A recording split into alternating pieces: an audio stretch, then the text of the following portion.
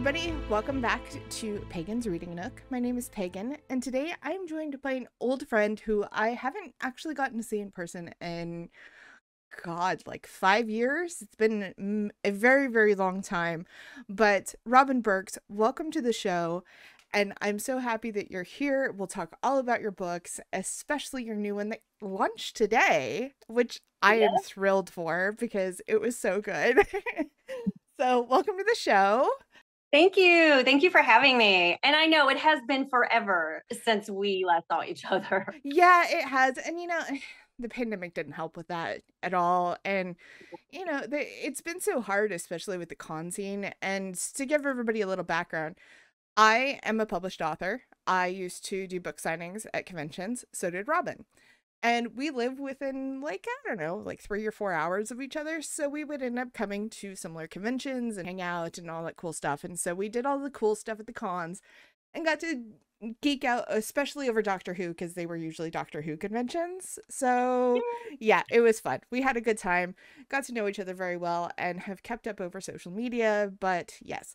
Now Robin is finally here on the show and gets to talk about your brand new book that just came out Robin has a whole bunch of other books available, which we will talk about shortly. But the new one that I cannot wait to talk about because it was probably, oh gosh, I would say in the last like three years, probably one of the top five books I've read. Oh, and oh, wow. for 2023, it is holding the number two spot. It, it got kicked out by number one, unfortunately, but it is holding number two strong and steady. And it is The Dream Seeker. It launched today. And it is a really interesting take on a modern twist of Celtic mythology. So let's talk let me give you guys a synopsis before we go any further. That way you guys are like, what are you talking about? Um the synopsis of the book is The Dream Seeker. What if your dreams were the key to unlocking magical powers? Alyssa Gray is just an awkward teenager until the day she discovers that her dreams and her magic are real. But just as Alyssa realizes that her magic is full, or she has her full magical potential, a dark god invades her dreams in search of an ancient artifact that will give him the power to bring others like him into the world and ultimately start a war that will destroy everything and everyone that Alyssa loves. And it is so good. It is a book that I literally could not put down. And that never happens ever. like usually takes me like a week or so to read a book. I could not put this book down. My husband's just like, "You've been attached to your Kindle. Are you okay?" And I'm like, "Yeah, no, I'm good. I check back later. I'm fine. Just bring me food. Make sure I eat." so I love that.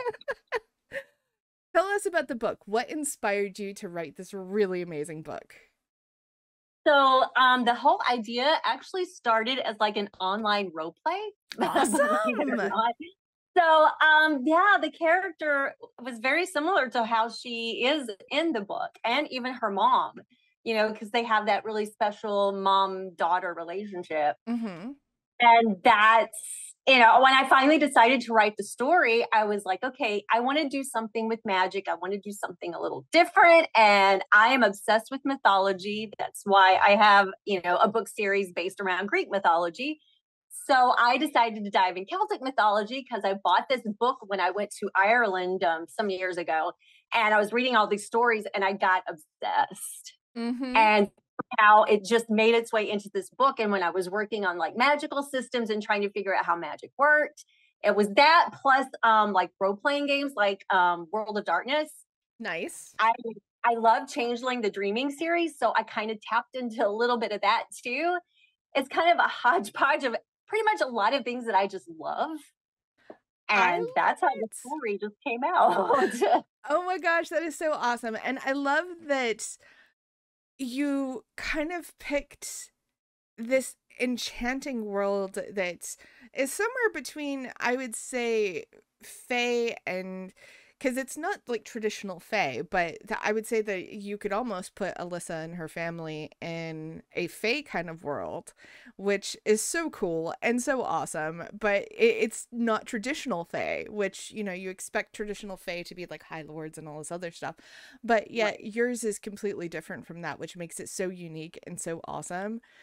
And I like that the magic isn't just something that is like poof, there it is. Nope, uh-uh. It, you have to access it through the dreaming and almost like stepping into the astral realms and then you get into the whole thing with the gods and oh, you guys, go buy the book. Just go buy the book.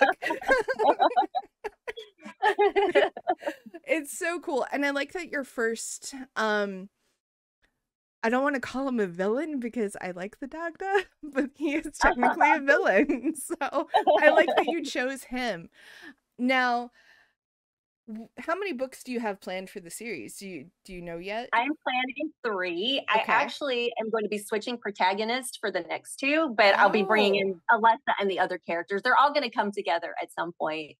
I literally just spent this afternoon starting work on fleshing out the character in the second book, and she's already starting to scream inside my head. So I'm I'm looking forward to starting that one soon. Yay! I love it so much, and I think it's so cool. I'm, you know, obviously your book made me cry, and I'm not going to give you guys spoilers, but uh the book made me have more feels than I was expecting out of the book when I started. I was just like, oh, and when you open it in the first dream like I was just like, did Robin write a horror novel? Because this feels very horror esque. I, you know, I, I, like to tap into horror because I read a lot of horror, and you know, I, I do that with like you know the Zeus Inc. books. I mm-hmm. and then and, you know, of course, I wrote a vampire book too. So I kind of always have to kind of bring in a little bit of horror that that first dream was freaky. Like I, I was like kind of white knuckling it through parts of it, and I was just like, "Oh God, what is about to happen to this poor girl?" And it, it, honestly, it was so good, and it sucks you in so deep that you kind of forget that reality exists. And then when you like put the Kindle down and you step out of the book, you're like, "Oh." That was not the world I was just in. Where am I? What am I doing? Which is always the best kind of book that makes you forget that this terrible reality exists. right. That's why we read. that is why we read. That's why we write. That's why we do all the things. Yes. So, um, what was your favorite part of the book if you had to pick one or even literally a top three? Thing, that first dream, it is literally the favorite, my favorite thing that I've written in that book. I just, I love how that just set the tone for things. I absolutely love that too. The first dream just really does it, it sucks you in hardcore. So anybody who's reading the book, you're just like, oh, this is kind of, you know, a, YA kind of thing and it's gonna be about high school. No, no Wait till you get to the first dream. I promise you, you're gonna be sucked in. You're never gonna like be able to put the book down again. Then you're gonna be like, "Oh, it's over. Crap. There's no more. The book two is not out yet." That was me. Sitting on my front porch, finishing the book, and I'm like, "Aw, it's over. Damn it." it's in the works. I'm working on it. that that's the best part. Now, out of all your characters, who was your favorite? Oh wow. You know, I kind of liked Uncle Fergus. Fergus was great. Oh, he was so great. but he's also, you know, he's still caring, but in a very gruff manner. And there's just I just loved that about him. You know, and the funny thing about uh Fergus was that he was one of those characters that you're just like, I'm either going to love you or hate you just because you're going to be one of those characters that's in my face and is going to be annoying and he he makes you love him. He really does. And in the beginning sean was one of those characters that i'm just like mm, i don't know if you're gonna be a good dad. And then he turns out he's a fantastic father and he's so f- mm. good at everything he does. But i always have to say literally my thought process right there as i was writing it i didn't like him at first I like how the characters are just like, no, no, no, no, wait, wait, wait. You keep writing. I'm gonna prove that I'm a good guy. I promise. Right, right. They, they take on lives of their own. they do. They have their own voices and their own things. And um, anybody who's a reader may not understand that, or anybody who's listening to this, if you're not a writer, you may not understand that. But trust me, the characters will sometimes you'll have the whole book outlined, all your notes done, everything ready to go, start to finish, and then you have a character that's a side character that walks in and goes hold my beer. Yeah. I'm going to take over the rest of the story. And it's like, but you're a side character that dies in the next chapter. What are you doing? Yeah, I've had that happen way too many times. It's very Sorry. uncomfortable and annoying. and you have to rework everything. Oh, yeah. Yeah. now, I would have to say probably the character that was the most surprising to me was Silas. Oh, he's And- probably my second favorite. He's he's definitely probably my favorite out of the whole book. Um, Silas was one of those characters that was really surprising. And in the beginning, I'm just like, I don't know, should we trust you? Are you a good guy? And then turns out, yeah, he he's mostly a good guy, but he was so great. Ah, they were all so great. You did such a great job with everybody. Um, so you have this book um done. Let's talk a little bit about your other series. Your Greek mythology series that the name escapes me off the top of my head. Uh the Um, it's the Alex Grosjean series. uh, Thank um, you. I was about to butcher books. her last name. so let's talk about those. Those are set in Greek mythology, right? Yeah, but they're also slightly futuristic. It's like, you know, 50 years from now because I can't write one genre, obviously. I mean, uh, that's okay. It- that just means that you're multifaceted, which is awesome. So, it's a detective story yeah. as well. So mhm. Um now those ones have been out oh gosh, I think that you're about a decade now. about a It's decade. about Yeah. I wanted to, I wanted to say that last time we were um at a con together, I thought that Return of the Titans had just come out, but maybe not. I don't remember. That was 2017, was it 2017? 2017, 2018. I think. Yeah, Yeah. that sounds about right. Yeah, Gosh, that feels like a lifetime ago. I know it does.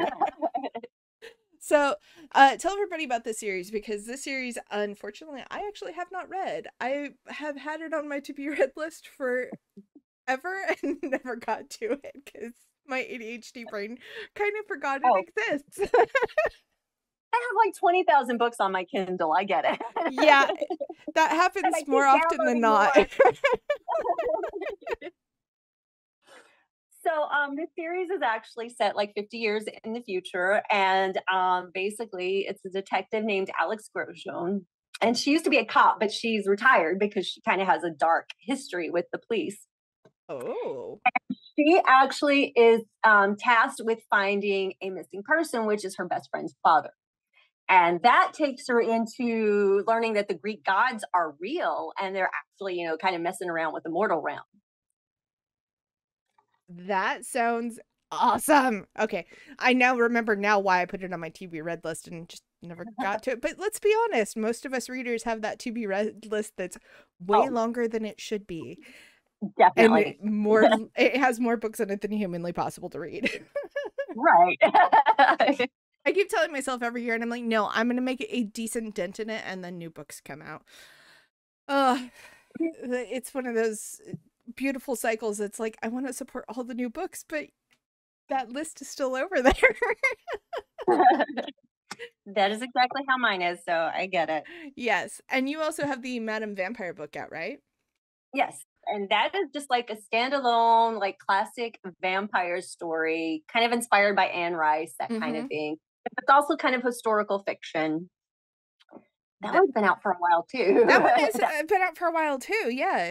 So I I remember th- I want to say maybe that one was the one that we just came out. Honestly, I don't remember. It's been too many years, y'all.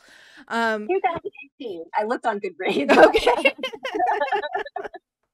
no, I remember now. You were advertising it. That's what it was. You had like a whole pamphlet Yeah. of it on your table, and it's it's coming back. The memories are back in the brain. They're back there, but it, it's coming back to me now, which is super cool. Uh, all the books are awesome. Everybody, uh, everybody, all the books are available on Kindle. Um, and y- if you prefer Kobo or Barnes Noble or Smashwords, wherever you like to buy your books, they're all available there. Obviously, I will have Amazon links because I have an Amazon Associates account and it helps me keep the podcast flowing. So if you want to buy them through that link, awesome. If not, that's cool. Wherever you'd like to buy your books, check out all of Robin's books because they're fantastic. And in addition to book two of the Children of the Gods series, uh, do you have any other books that you're working on or planning for the future? Um, I'm just gonna get through the series. That's where I'm at. You know what? I've got a lot of things I've written and shelved. I've got a couple of stories. I'm like, I'll get back to it later. So I I have no idea. I wrote like a space pirate story Oh, neat. that's like way out there, and then I've got like a a high fantasy novel I started that I never finished. There's all kinds of stuff that I've written that maybe I will return to, but I'm gonna get through this series first. That's what I'm Yes. focused Get through this series because we need at least book two for sure because we need to know what happens.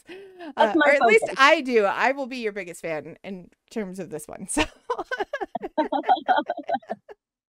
um, now I don't know how the pandemic has affected uh your cosplay stuff, but how's that going? Um, it's picking back up. I'm actually at the point where I'm only doing like one big cosplay build a year Mhm. just for the fact that it's expensive. Yes. and I am focusing more time on my writing again. So I have to kind of balance the two. That's totally fair. That is completely and totally fair. Uh, for everybody who's listening, Robin is also a fantastic cosplayer, and oh gosh, I if you follow her Instagram, there's like a million photos of all the beautiful things that she's created. I can't even name them all. The first one that comes to mind is Merida uh, from Brave, and there's some Star Wars stuff in there. I think there's some Doctor Who stuff in there as well. Uh, but yeah, tons of cosplay, really cool stuff. So if that's your jam, please go check out her social media because there's all sorts of really fun things on there for you to check out and support her and do all those great things. Uh, but yeah, this has been absolutely amazing, and I'm so thankful that you actually got to come on the show and we got to catch up. And I am looking forward to book two, obviously. And Yeah. everybody who's listening, please go pick up a copy of The Dream Seeker. It is out today, and today is May the 2nd. This episode will actually be airing on May the 3rd, but it will be out and available for you to purchase everywhere. It is so cool. It's such a great book. Please go buy it. Trust me. It is just a fantastic book. I, I can't recommend this book enough. I think I've probably recommended it so many times that most of my friend group is just like, we get it. You like the book. Thank you so much. yeah, I think they're getting to that point and it's like, you already recommended that one. What's another one? I'm like, no, no, no, go read that one first and then come back. They're probably getting annoyed with me. But everybody who's Mm. listening, go buy the book, go buy all of Robin's books, and we will see you all next time. And I will catch up with you all next time for my TV Reds for May, and we'll go from there. So, everybody, take care. Go follow Robin. All the links are in the description, and we'll talk very soon.